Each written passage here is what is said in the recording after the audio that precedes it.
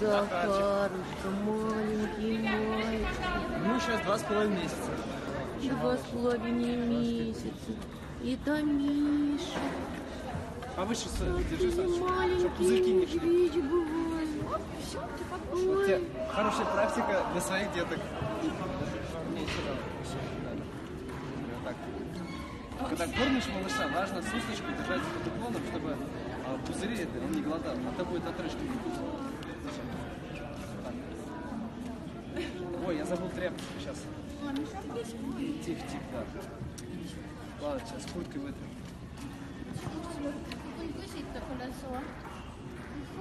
Маленький. Есть у тебя, что за